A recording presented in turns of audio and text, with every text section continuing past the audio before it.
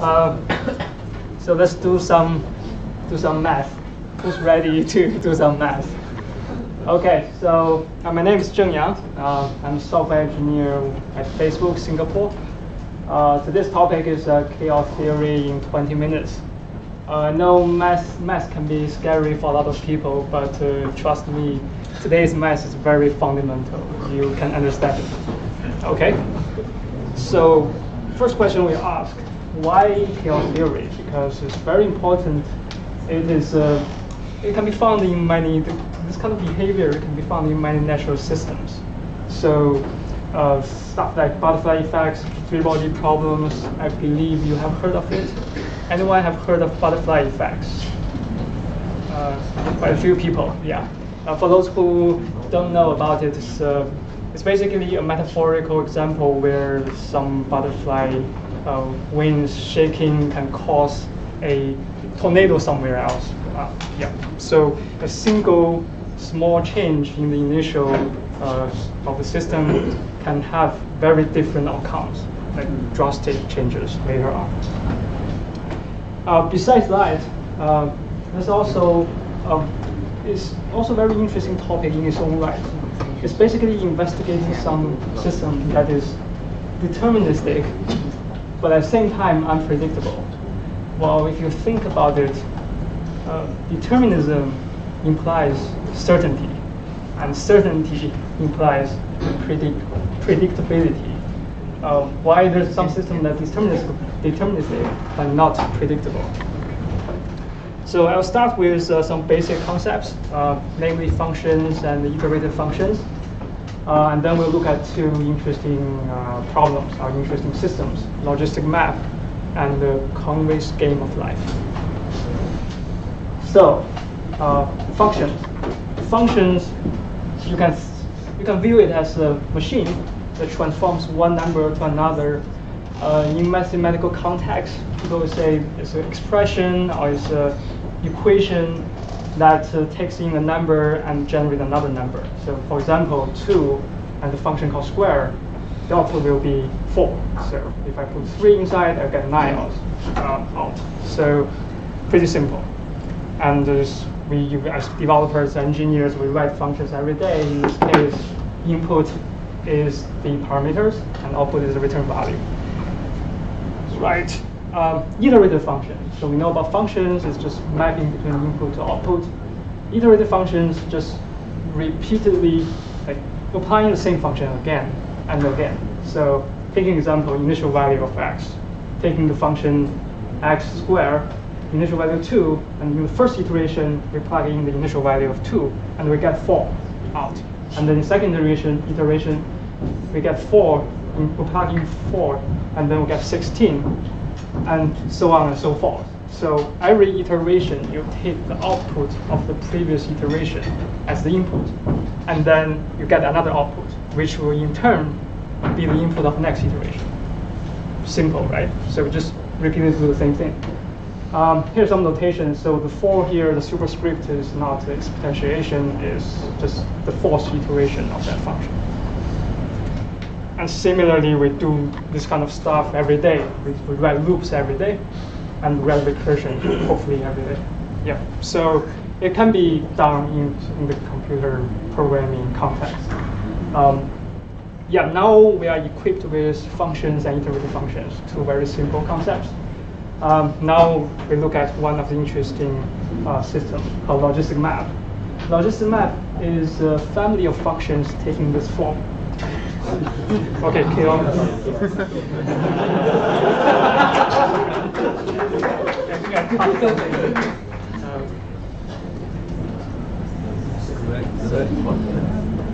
okay. I, I won't touch it again. I wish there's no microphone here. Oh no, there is. Uh, yeah, you need to do a bit of setup. Okay, never mind, never mind. Okay. Uh, so yeah, logistic map is a function that takes this form: r times x times one minus x. I think it's pretty easy to understand. And where r is a particular uh, number, you can just uh, plug in any values um, to replace the r, and you get a bunch a bunch of functions. Uh, they are called logistic maps. let's do some iterations on logistic map. Let's iterate logistic map. Um, on the right-hand side, you have table where on the left column we have this uh, uh, iteration numbers. We start with 0.1, and in the first example, we take r to 2.5, and then you plug in uh, 0.1 into the x, and then you got 1, 2.6 times 0.1 times 1 minus 0.1, and you get uh, 0, 2, 3, 4. And then again, you take uh, input 0, 2, 3, 4, you get another number. So uh, left-hand side is the iteration, and right-hand side is the value during that iteration, the output of the iteration. Um, so we plot this uh, table with horizontal axis being the, uh, the number of iterations and the vertical axis being the value. Uh, it's pretty much easy to understand. It's converging into a single value. So it settles on a single value means it's predictable. If you ask me, okay, what is the uh, the value of 1,000 iteration. Probably you'll say it's just this, this, value because it never changes after that. Uh, the reason being, if you put that number, plug in that number into this function, you get the same number out. So you're just stuck there. Okay, uh, not too interesting. Let's increase R to 3.4. And now you have a slightly more interesting pattern.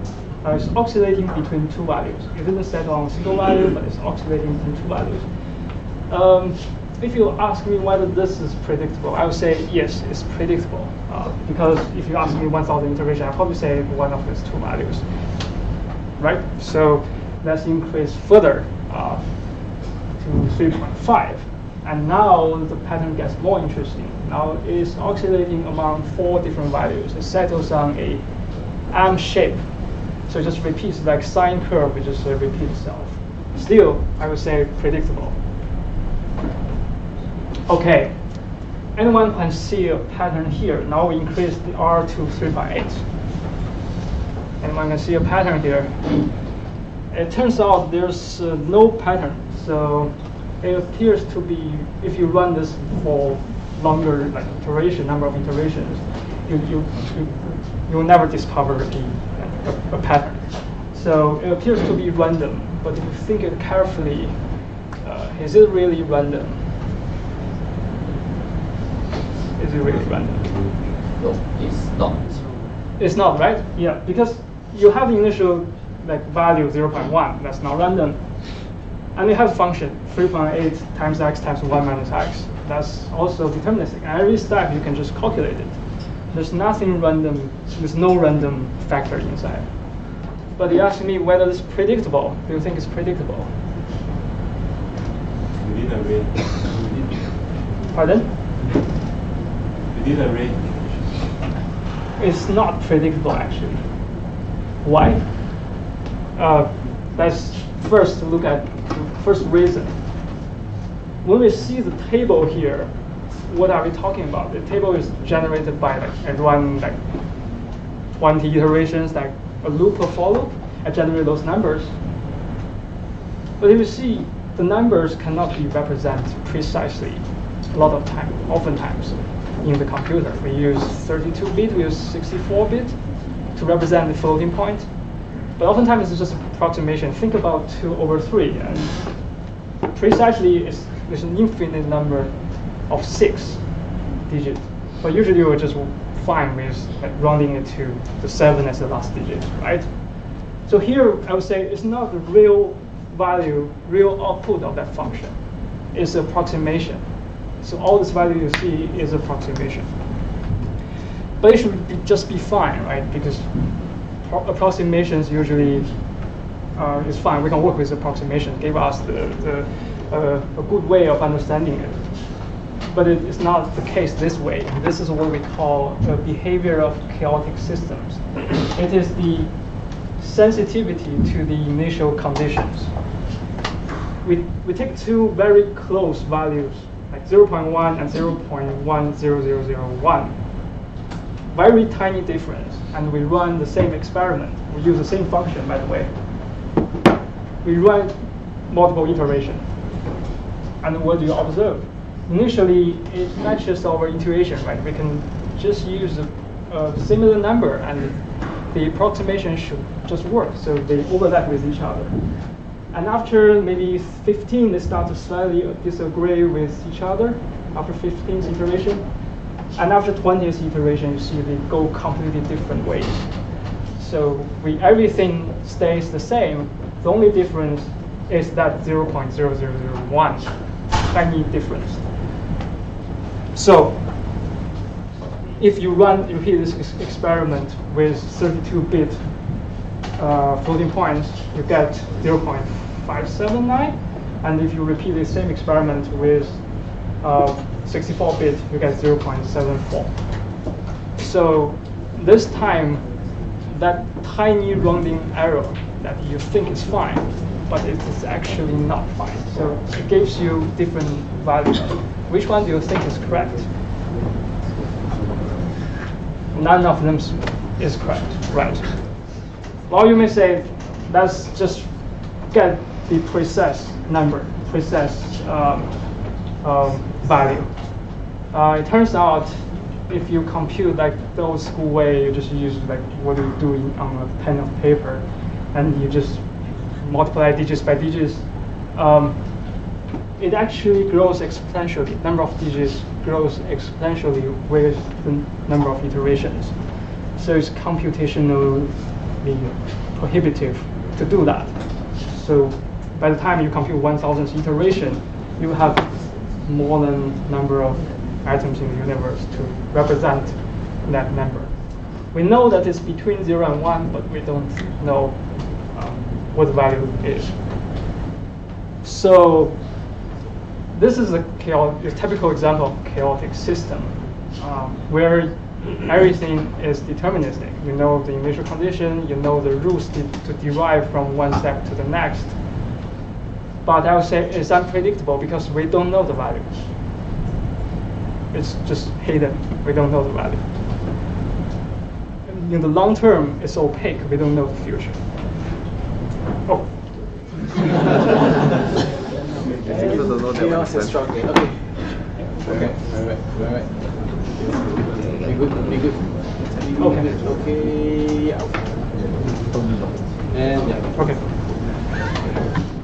So if you are curious about uh, what are the R values, remember that R value, um, it can actually can take all the R values as the horizontal axis, axis and the uh, number, uh, the pattern that settles on in the vertical axis. The first example, R is 2.6. It settles on a single value. So here is the value it settles on. On. So 3.4 remember the oscillation between two values? That is why, because you have two values, the pattern. And then remember the M shape is 3.5, that's four values. And 3.8, last example, the chaotic one, uh, you don't see a pattern actually, it's just seemingly randomly um, jumping in that range, jumping in that range. Yeah. So this is called bifurcation diagram. Okay, let's look at another example. Let's play some game. Uh, this is called Game of Life. Another example. So the this whole Conway's Game of Life is played on a 2D grid, where each cell can be either dead or alive. Here, blue color means alive, and white color means dead. Um, it's a zero-player game. Um, zero player means you just set up some initial conditions, you just bring some cells alive, and then the game will play itself by some rules, according to some rule. So the rules are like this. If a living cell, if a blue cell, has two or three uh, living neighbors, blue cell has two or three living uh, or blue cells neighbors. So by the way, the neighbor is surrounding eight cells. It will stay alive. So in the first diagram, that cell at the center will stay alive. Uh, otherwise, it will die. But the second one that will die because they only have one neighbor. Um, if a dead cell, if an empty cell, a wet cell, uh, has three living, exactly three living neighbors, it will be alive, it will become alive.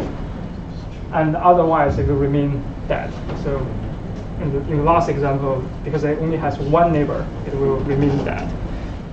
So pretty simple, right? Um, let's play this game.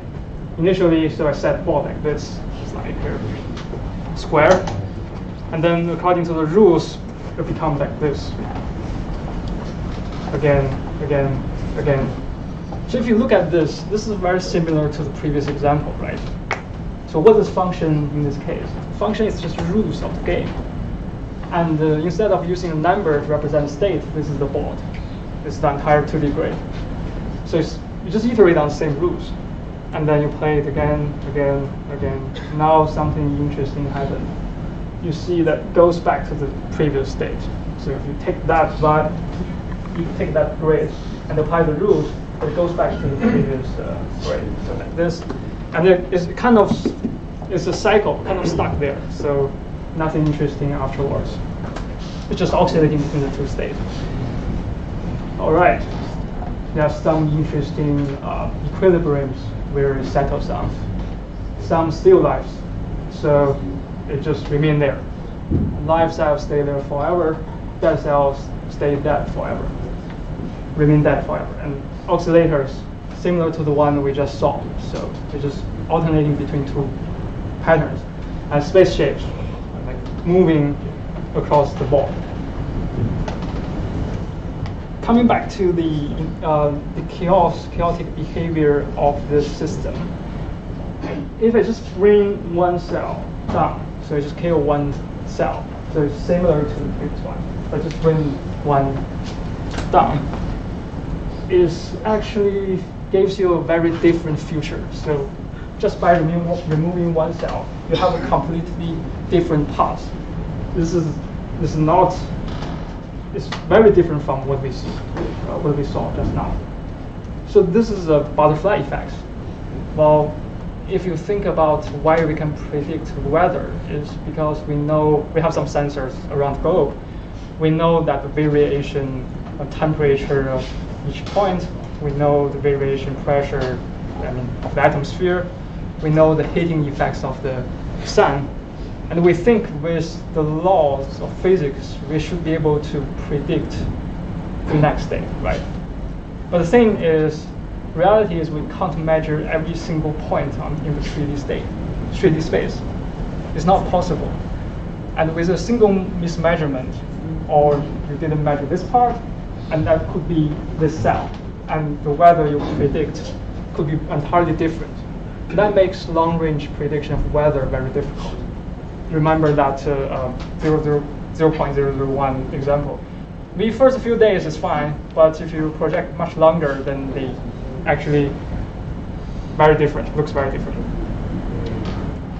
So uh, the butterfly effect was coined by this uh, scientist called Edward Lorenz.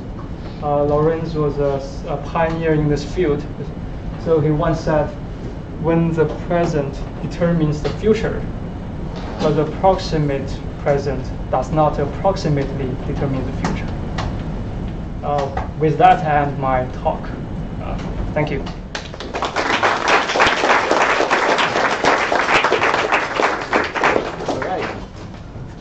That's actually